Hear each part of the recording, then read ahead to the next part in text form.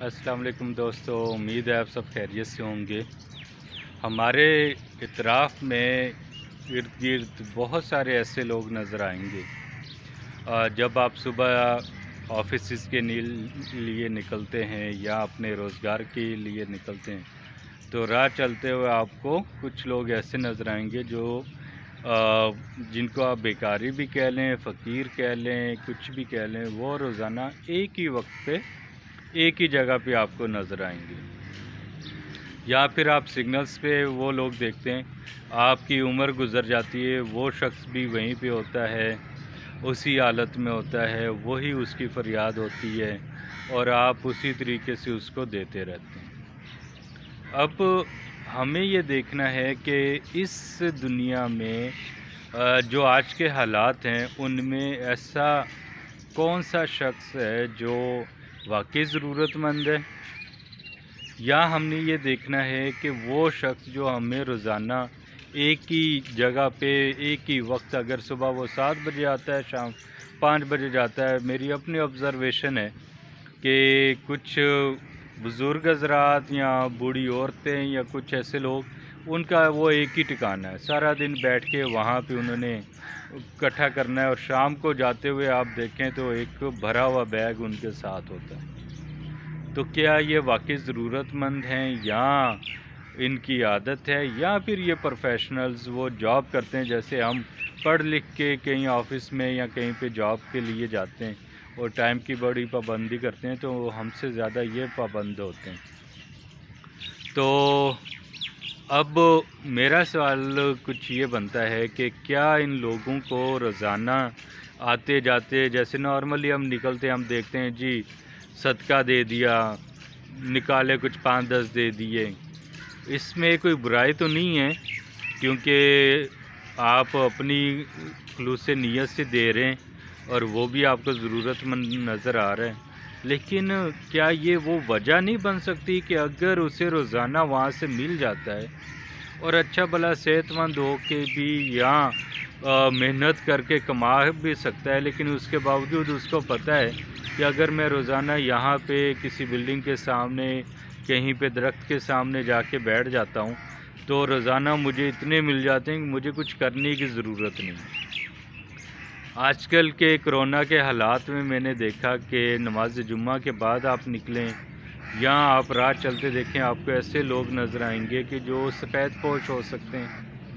और ऐसी हालत में कि वो किसी के सामने शायद कभी ज़िंदगी में हाथ फैलाया हो, लेकिन मजबूर इतने हो चुके हैं, हालात ऐसे आ चुके हैं कि वो इस चीज़ पे आ चुके हैं कि वो अब ना ज़ुबान से कह सकते हैं और ना ही उसके बगैर कोई गुजारा है। रोज़गार ना होने के बराबर है। ठीक है, मार्केट्स में हर जगह आपको पता है कि जो हालात हैं तो इस सिलसिले में अगर आप वाकई चाहते हैं कि आप किसी सही बंदे के साथ नेकी करें और उसका अजर पाएँ तो मेरा ख्याल है कि आप बजाय वो शख्स जो रोज़ाना आके बैठ जाता है और सालों साल बैठा हुआ है मतलब आप उसको पाल रहे हैं। ये उसे पता है कि मेरी ज़रूरियात पूरे करने की ज़िम्मेदारी इन्होंने उठा ली है और मुझे कहीं जाने की ज़रूरत नहीं, कोई काम करने की ज़रूरत नहीं। तो एक दो मज़ाया या फ़नी वाक़ात भी हुए। जैसे मैंने एक शख्स को कहा कि अच्छे भले हो और कमा के नहीं खा सकते। तो उसने कहा, अब तुम्हारे लिए मैं क्या अपने हाथ पाँव तड़वा के मांगना शुरू कर दूँ? तो ये चीज़ देखें, एक बड़ा गहरा मैसेज है। उसे पता है जी, मैं अच्छा बोला हूँ तो क्या हुआ? मैं, मुझे दे रहे हैं ना दुनिया वाले। और तुम्हारे कहने पे क्या मैं अपने हाथ पाँव तोड़वा लूँ? तो शर्मिंदगी भी हुई मुझे और हँसी भी आई उस पर तो या फिर बुज़ुर्ग एक मैंने देखे, मैंने कहा, जी, आप इतने बुज़ुर्ग तो नहीं हो, आप पैंतालीस, पचास के हो। रोज़ाना यहाँ बैठ के आप कितना कमा लेते हो? तो कहता है कि आके तुम मेरी इन्वेस्टिगेशन करने आए हो। मैं तो यहाँ सालों से बैठा हूँ, मुझे तो किसी ने नहीं पूछा। तो क्या देना है कुछ या वैसे ही मज़े लेने के लिए आए हो? मैंने कहा, बड़ी ज़ुबान है तुम्हारी, माशाल्लाह से। और इस ज़ुबान के साथ अगर काम भी कर लो। तो कहता है, ये काम नहीं है, मैं सारा दिन यहाँ बैठा होता हूँ। अब लोग मुझे दे के जाते हैं तो मैंने उनको थोड़ी कहा है। तो जिसका दिल चाहता है, दे जाता है, मेरा रोज़गार बना हुआ है, तुम्हें इससे क्या तकलीफ़ है? मैंने कहा, जी, मुझे कोई तकलीफ़ नहीं है। लेकिन, जो वाकई हक पे हो और ज़रूरतमंद हो, वो कहाँ जाएगा? तो फिर खैर, बुरा तो बड़ा लगता है। अगर आप राह चलते किसी को ऐसे कहना कि, आओ तुम्हें मैं काम दिलाता हूँ, काम करो, या तुम्हारे लिए मेहनत मजदूरी है। देखिएगा, ऐसी आग लगेगी जैसे आपने पता नहीं उसको माँ बाप की गालियाँ दे दी। तो ये आदत बन चुकी है। तो ऐसे लोगों से आ, मेरा नहीं ख्याल कि हमें कोई स्वाब भी मिलने वाला है या कुछ है। हाँ हमारी नीयत साफ़ है तो फिर तो एक अलग बात है।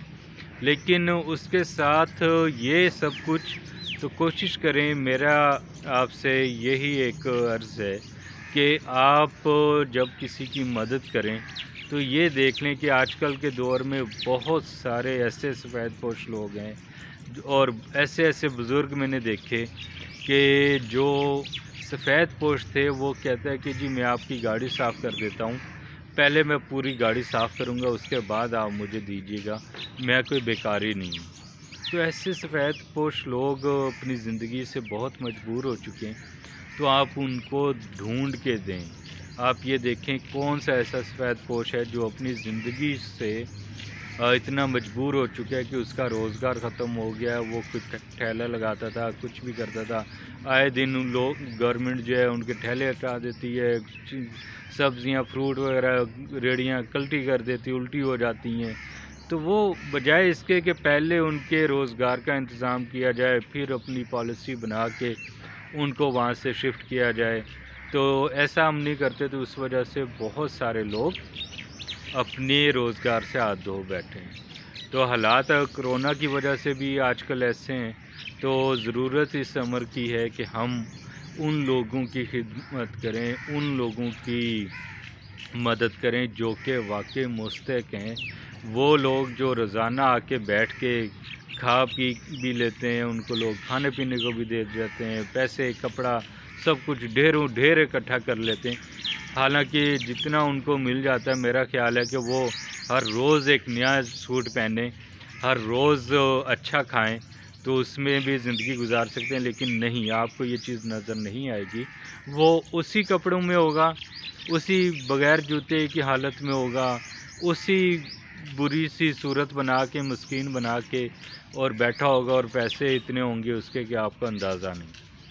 तो फिर क्या फ़ायदा उसकी मदद करने का? जिसने अपने ऊपर ख़र्च ही नहीं करना या उसको तोफ़ीक ही नहीं है तो फिर वो लोग ज़्यादा बेहतर नहीं है जो वाकई मुस्तक हैं।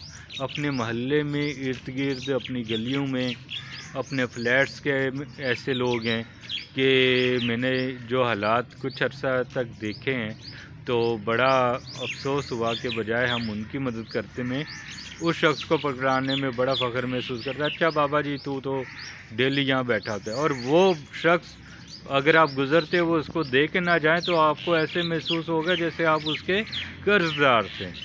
आपने आज के अपनी किस्त अदा नहीं की और उसने वैसा मुँह बना के आपको देखा है।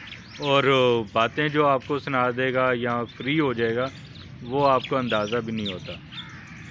तो आप कोशिश करें कि ऐसे शख्स को ढूंढें, ऐसी फैमिली को ढूंढें, जो वाकई मुस्तक है आजकल बहुत सारे हालात ऐसे हैं, जिसकी वजह से लोग अपनी ज़बान से कुछ नहीं कह सकते। तो उनकी मदद करें। अल्लाह आपको स्वाब भी ज़्यादा देगा, अजर भी ज़्यादा देगा और आखिरत में आपके लिए फ़ायदा भी वो ज़्यादा पहुँचाएगा। अपने इर्द गिर्द देखिएगा और महसूस कीजिएगा और अपनी दुआओं में याद रखिएगा। बहुत बहुत शुक्रिया।